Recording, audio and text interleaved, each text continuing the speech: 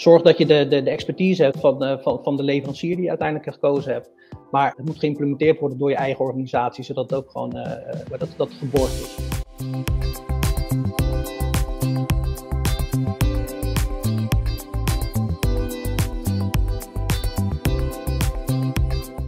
Het nieuwe onderzoeksrapport is de aanleiding voor het gesprek dat wij uh, zo dadelijk gaan voeren met uh, de twee gasten. Dus een uh, hartelijk dank aan VMS Native om, om dit mogelijk te maken. En ik zou zeggen een warm welkom aan Sjoerd Hogevorst. Ik ben Sjoerd Hogevorst, HR Business Improvement Manager bij TBI. TBI is een, een bouw- en techniekconcern, circa 6500 medewerkers. En uh, voor ongeveer 5600 medewerkers, 19 bedrijven, um, doe ik samen met mijn collega's het ontwikkelen van HR-processen uh, en het ontwikkelen van systemen. En het hergebruik van die data uh, richting bijvoorbeeld primaire processen van de, van de bouw- en, bouw- en infra- en techniekbedrijven.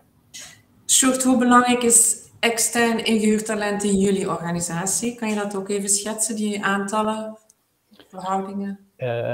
wij hebben op dit moment is er één gebruiker, dus één klant of één, één bedrijf binnen TBI die een VMS gebruikt. Uh, dat is het grootste bedrijf van, uh, van TBI. En die zit ongeveer op uh, tussen de 15 en 20 procent inleen op, ja, ik zeg even op maandbasis. Maar dat, flex, dat, dat is natuurlijk flexibel naarmate het jaar vordert. Um, en is, dermate, is daarom dus ook een, een, belangrijke, een belangrijk aspect in, binnen dat bedrijf. Ja, en van waar de noodzaak om, uh, om te gaan inhuren, los van het aantal? Uh, wat waren er nog aanleidingen? Ja, het bedrijf maakt al, ik denk al 13, 14 jaar gebruik van een VMS. Je zit deels aan, de, aan, de, aan, het, risico, uh, het risicoverhaal. Hè? Dus zorgen dat je je risico's omlaag brengt, je compliance op orde hebt. En daarnaast kijken naar de toegevoegde waarde die een VMS je biedt. En voor dit bedrijf was dat, uh, was dat een, een, belangrijke kwestie. Uh, eigenlijk precies wat Carlo aangeeft aan wat er allemaal mogelijk is en wat, uh, wat daardoor getackeld wordt. Ja, en dan is de voor de hand liggende vraag waarom niet bij de andere bedrijven? Wat, wat speelt daar? Wat houdt tegen? Kijk, als je de toegevoegde waarde niet ziet, of anders gezegd, op het moment dat jij vindt dat je compliant bent, al doe je het vandaag op een bierveeltje, doe je het in Excel, doe je het in een HR-systeem of ergens anders als jij zorgt dat je compliant bent aan alle wet en regelgeving, uh, dan is het daarna de toegevoegde waarde die maakt dat een bedrijf dat uh, wil gaan gebruiken of niet. Ja. Uh, soms is het ook gewoon de aantallen. Ja, als je 20 man inleent op jaarbasis of ja. per kwartaal, ja, dan doe je dat ergens anders. Als je maar wel dan, je moet wel zorgen dat je aan bijvoorbeeld inderdaad die privacywetgeving, die steeds belangrijker wordt en veel meer op getoetst gaat worden, dat je dat, dat, je dat allemaal wel, dat je daaraan voldoet ja, zo'n VMS-systeem te kiezen. Heb jij daar tips uh, rond? Ja, eigenlijk wat Karel aangeeft, over functionele, functionele requirements. Dus wat wil je gaan tackelen in je, in in je proces? En wat kun je allemaal tackelen? Wat, wat is misschien extra bijvangst? Zet dat goed onder elkaar, en, en, zodat je een bepaalde verwachting voor jezelf opschrijft. Um, zorg dat je stakeholders goed meeneemt. Uh, het lijkt zo'n simpel proces, maar uiteindelijk kom je erachter dat het best wel veel dingen raakt in je, in je organisatie. Um, uh, dus ook de, de, gebruikers, uiteindelijk de mensen die, uh, die aan de knoppen gaan zitten. ik hoorde al net al in het begin al aangeven, de user-friendliness van, van een systeem, hoe, hoe makkelijk is dat?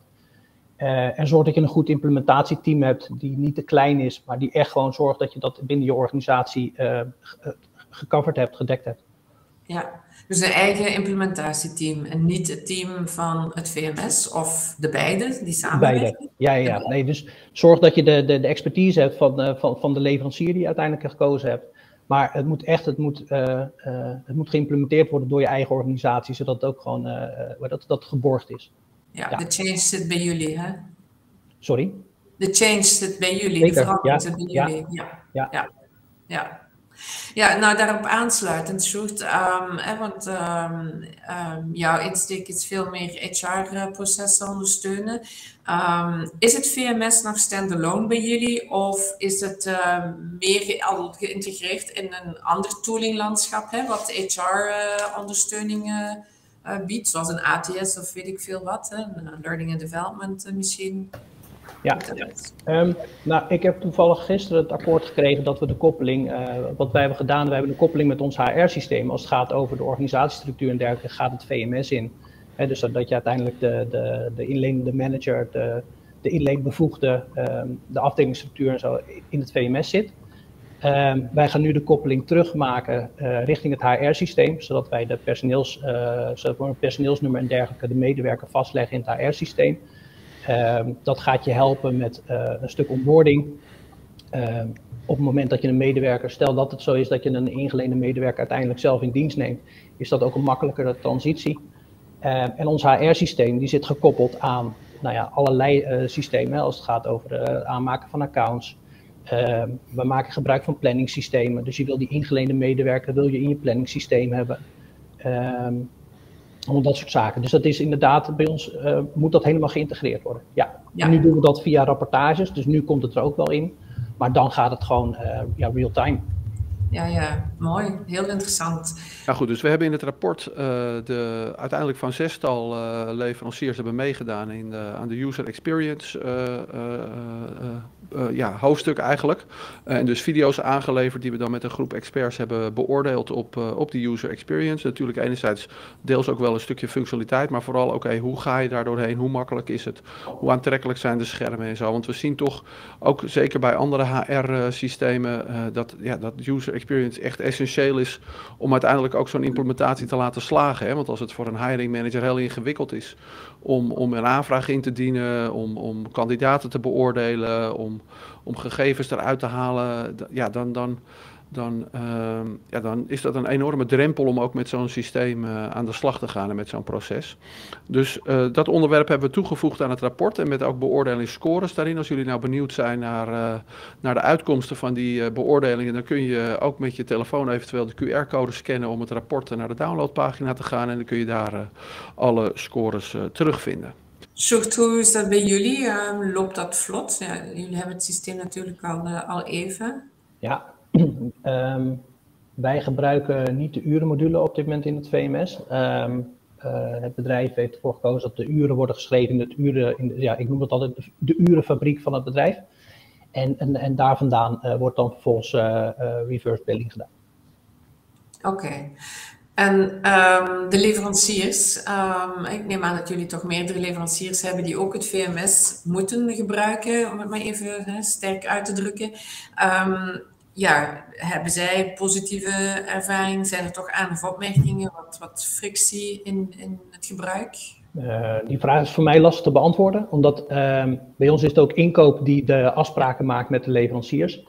Uh, die leveranciers die zitten in het systeem. Ehm, eh, bij ons is het meestal zo dat we al weten wie we gaan inhuren. Hè, dus je hebt bijvoorbeeld in de VMS heb je ook een marktplaatsfunctie. maar die wordt bij ons meestal niet gebruikt omdat we weten wie we hebben, wie we ehm, wie we hebben en wie we willen hebben. En meestal is dat ook een, een repeterend iets. Mensen komen vaker terug om, uh, om werk uit te voeren.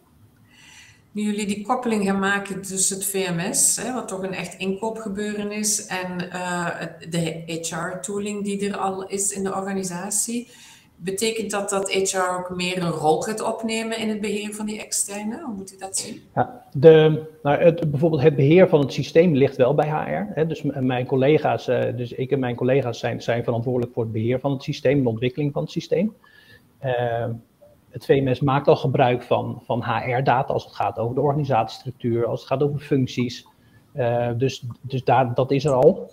Ehm, ja, op het moment dat de inleengegevens in ons HR-systeem komen. De, de, de manager van de afdeling ziet daardoor niet alleen zijn eigen mensen, maar ook, uh, uh, ook de, de inleen. Ja, dan, gaat dan, dan, dan is mijn beeld wel dat dat veel meer bij elkaar gaat komen. Ja. Oké, mooi. Um, is er daar iets wat zou een drempel kunnen zijn waar je aan denkt? Van, nou, dat moeten we dan toch eerst nog oplossen voor het zover is? Wat de, HR ja, een prominente rol heeft? Uh, buiten de technologie eventueel? Wat, uh, wat zie je Nee, nog? nee de, in die zin werken we al veel samen. Hè? Dus degene die verantwoordelijk is vanuit de inkoop, die, die, dat is al onze gesprekspartner. Um, dus nee, daar, daar, zie ik geen, uh, daar zie ik geen uitdaging in. Nee, mooi. Ja, het gaat ook over jongens, hè? Dat wordt alles vergeten, ja. dat die externe ook mensen zijn.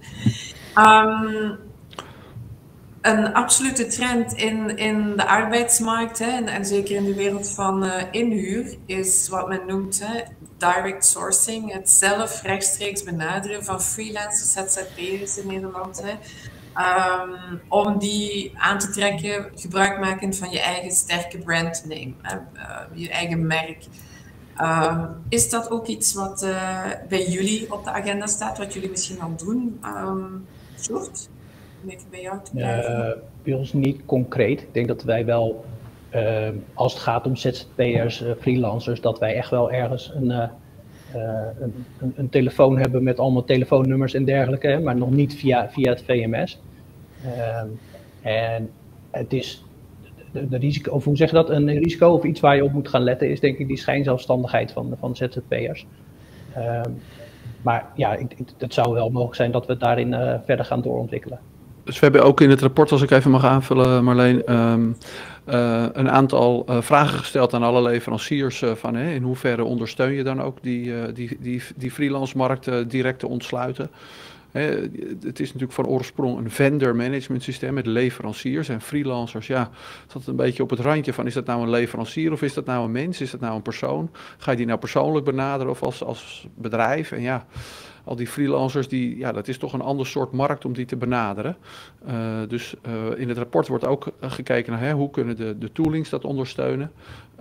Maar eigenlijk is het met best een aantal dingen. Hè. Toolings ondersteunen ook statement of work en andere contractvormen. Het is ook vaak aan jullie, eigenlijk aan de business, aan de HR en, en, en de business die daar wel al vraag naar heeft. Om ook dat soort modules in de, in de VMS'en te gaan gebruiken. Hè. En gewoon het, het, het, het, platform waar je freelancers kan vinden, ook als een soort leverancier te zien waarin je aanvragen naartoe kan, uh, kan schieten. Talentpools, hè, dan maak je gebruik van een VMS waarin dat mogelijk is om ja, op een continue basis eigenlijk uh, je flexkrachten weer in te huren. Hè, dat je toch uh, continuïteit hebt in je flexibiliteit. Heren, um, is dat iets waar jullie al gebruik van maken, talentpools? Dat je toch uh, zorgt dat je over dalmomenten heen hè, dezelfde flexkrachten weer kan inhuren? Misschien in het callcenter, heb je daar uh, zicht op? Je, registreert heel veel van de ingeleende medewerkers en daarmee uh, uiteraard allemaal conforme AVG. maar omdat het best wel bij ons repeterend werken is, of in ieder geval dat mensen terug, kun je ze weer inhuren. Ehm, dus daar doe ik niet echt dat je een talentpool voor hebt voor externe inhuur op dit moment. Oké. Als jullie nu kijken naar alles wat er speelt in de arbeidsmarkt, hè, de, de, de ontwikkelingen gaan steeds sneller. Um, en je kijkt naar je eigen organisatie, de noden, hè, de uitdagingen waar jullie organisatie voor staat. Hoe gaan, uh, of welke rol gaan ingehuurde talenten dan spelen in jullie organisatie? Veel vacatures. Vacatures worden nu ingevuld door ingeleende medewerkers. Ehm, de, de, ontwikkeling die we nu gaan doormaken zorgt ervoor dat je, dat je veel meer inzicht gaat krijgen. Hè, wat ik al aangaf. Dus op het moment dat ons VMS in ons HR-systeem zit. En je zorgt dat je dat koppelt bijvoorbeeld met je, met je ERP-systeem, zodat je je projecten in kaart hebt die je vandaag hebt. De, de capaciteit, de menselijke capaciteit die je hebt. Uh, wie weet nog de data vanuit je CRM-pakket, zodat je weet wat er in de toekomst gaat komen. Daardoor ga je veel beter inzicht krijgen in waar zitten de gaps, wanneer zitten de gaps en wat heb ik daar dan voor nodig? Heb ik daar vaste mensen voor nodig? Heb ik daar inleen voor nodig?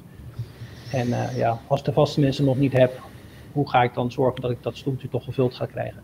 Ja, dus eigenlijk ga je kunnen evolueren naar een strategic workforce planning, hè? strategisch personeelsplanning, um, omdat je totale workforce inzichtelijk hebt. We hebben straks alle ingrediënten.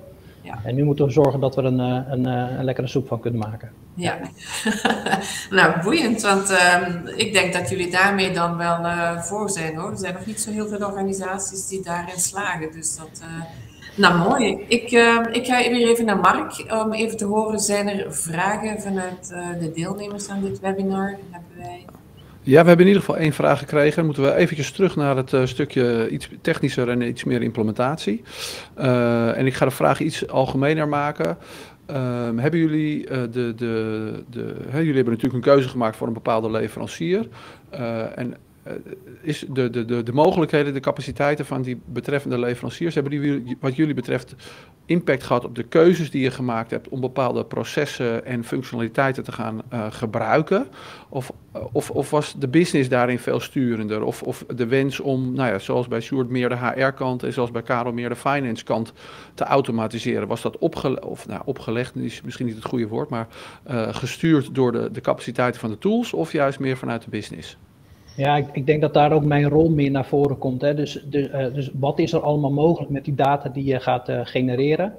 Uh, hoe compliant ben je? Hè? nou ja, wat Karel in het begin al zei, gaan, kijk in onze markt, dan hebben we de wetketenaansprakelijkheid. Dan maak je gebruik van BSN-gegevens, die zijn benodigd. Ja, gaat dat over de mail of gaan we dat slimmer aanpakken, waardoor dat gewoon, zodat je zeker weet dat je, dat je het allemaal goed geregeld hebt? Um, uh, bepaalde behoeftes die latent zijn. Of als je vertelt van joh, maar dit kan ook. Dat ze zeggen, oh, maar dat, dat vind ik, dat wil ik heel graag. Nou, dan wek je die businessvraag. Uiteindelijk die wek je op. En dan ga je vervolgens ga je richting, uh, richting ontwikkeling. Oké. Helder, leuk. Uh, we hebben nog een andere uh, vraag uh, over in hoeverre jullie, laten we eerst aan jullie kant beginnen, als, als gebruikers van de VMS-tooling, al gebruik maken van AI-mogelijkheden die de, die de tools leveren. Dus bijvoorbeeld bij het zoeken, bij het matchen, bij et cetera, andere vragen rondom, rondom je VMS of je, je processen. In hoeverre gebruik je al AI in dat soort processen? Of, gebeurt dat op de achtergrond en hebben jullie het misschien helemaal niet in de gaten dat je dat al gebruikt? Dan, dan, moet onze leverancier even mij bellen om dat te vertellen. Uh, bij ons is het, uh, uh, op dit moment maken we daar nog geen gebruik van. En nogmaals, bij ons weten we al op dit moment wie we willen, wie we willen inhuren. dus is het meer het stap richting contractering. En, en dat deel is gefaciliteerd. En, en rapportagevormen, maar nog niet op, het, op, op AI-vlak.